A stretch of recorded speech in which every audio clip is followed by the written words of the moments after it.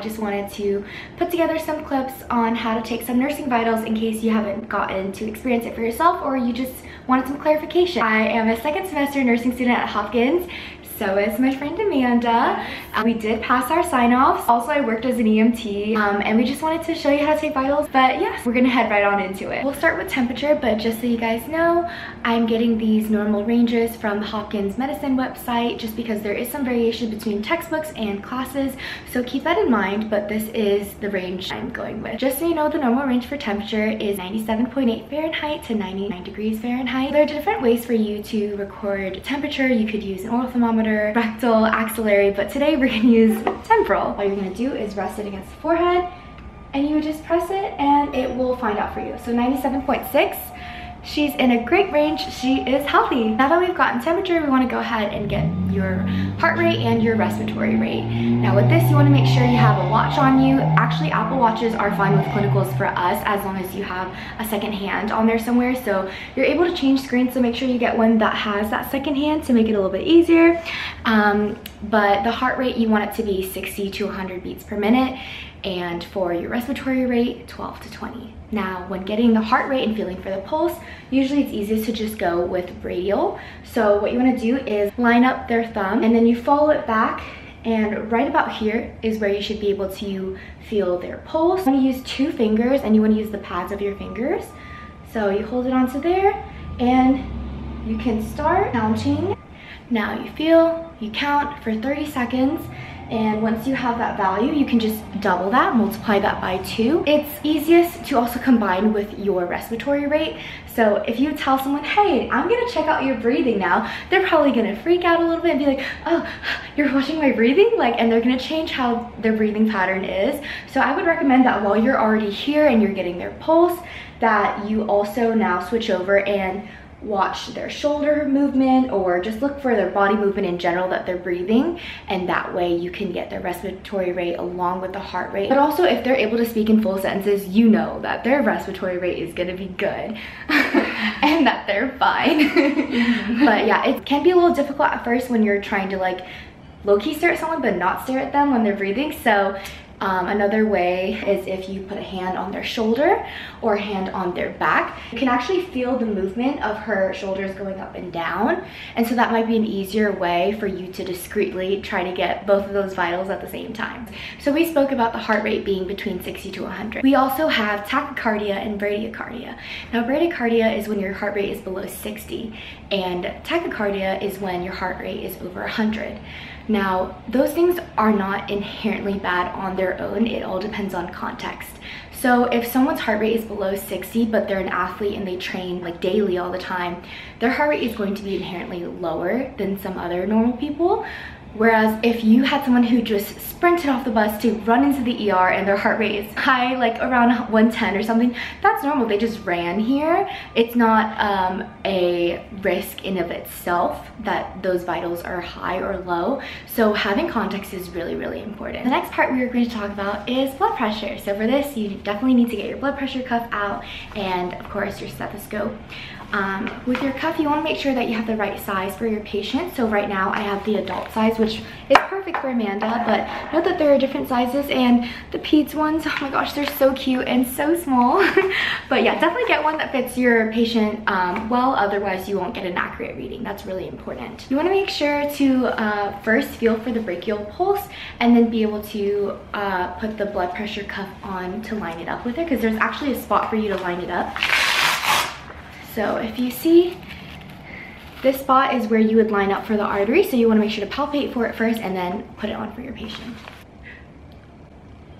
Okay.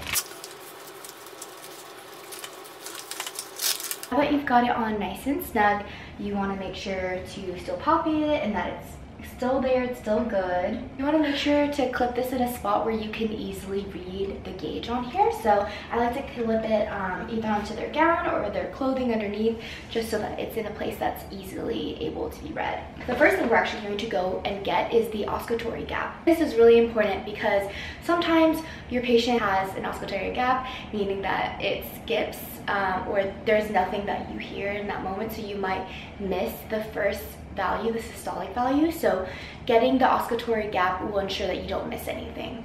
So to do that, you first want to palpate for the brachial pulse again. What you're going to do is you're going to make sure to close this and you're going to pump and when you feel that there's no more pulse there, that's when you know that that's the value that you got to keep in mind. So first we're going to get that value. So I'm going to go for it here. Okay, and then start pumping. For Amanda, that was 120. So what I'm going to do is pump to 150. So whatever value that you get for your patient, you're gonna add 30 on top of that and that's the number that you're going to pump to when you're getting that blood pressure. The first sound that you hear, that is going to be your systolic sound. When you record, the blood pressure will be systolic over diastolic. So the first sound you hear is systolic. The final sound that you hear when it's tick, tick, tick, tick, and then it just stops, it ticks off, that sound is going to be your diastolic sound. So what you're going to do is pump to that value. So like we said earlier for Amanda, that's 150. So what I'm gonna do is pump to 150 and then I'm going to slowly, very slowly release the valve so that it's open. So not very much, just barely opening it and it's going to slowly let the air out. The first sound you hear, that'll be your systolic value. The second value, which is the very, very last sound you hear, that will be your diastolic sound and then you just record it as so. The last thing you want to do before you get the blood pressure is make sure that your patient is sitting down, that they're relaxed, they didn't just have any caffeine or food, didn't just eat, um, that their legs are not crossed and that they're in a relaxed position essentially. So once that is done, then you can go ahead and get your blood pressure. So what you wanna do is you wanna put on your stethoscope, give it a tap, make sure you're listening to the right side, which I am, I felt that one. Then you're gonna stick it under here, under the cuff.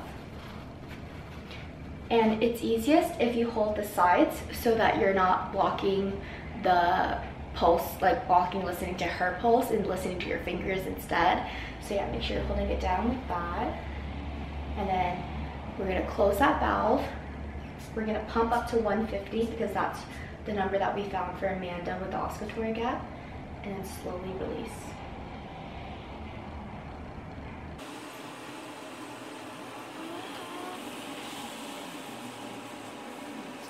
Hers is 114 over 76. Normal blood pressure is 120 over 80, but everyone has their own baseline, so making sure to take blood pressure frequently so that you know what your baseline is also really important. I'll leave a chart up here actually so that you guys can see when you would be considered um, in the pre-hypertensive category, hypertensive category, whatnot. The last nursing vital we're gonna talk about is apical pulse.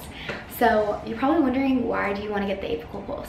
Now, this is really important because it is the easiest and most non-invasive way to get an accurate reading of cardiac function essentially and so it can let you know if you have any sort of sinus arrhythmia or anything like that. This is something that you'll see a lot especially in peds just because their heart rate can be very irregular. So let me show you how to do this.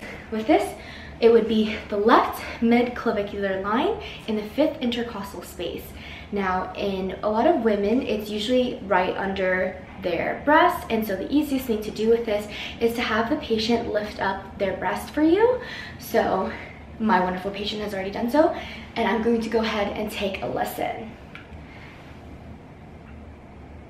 It just takes some practice with uh, making sure that you're in the right spot, but that one I was able to pick up pretty easily with Amanda, but we've already practiced with each other for this mm-hmm. before for our um, vitals sign-offs like first semester. Um, but with this, you wanna make sure that you're actually listening for the entire minute. So remember earlier when we were talking about getting the heart rate, you can either listen for 15 seconds, multiply by four, or you can listen for 30 seconds and just double that value. But with this, you wanna listen for the full minute actually. That was all the nursing vitals that we were going over for today. I hope that you found it really helpful and beneficial. Um, let us know if you have any questions or want clarification on anything. But good luck on your sign-offs. Um, vitals are one of those things where it's like the more practice you have, the easier it gets. I know blood pressure especially can be really intimidating at first, but practice on anyone and everyone that you can. Like grab your sister, grab your mom, mom, whoever it is, practice on them and soon enough it'll just be like second nature. But yeah, let us know if you have any questions on anything and I'll see you guys in the next video. Bye!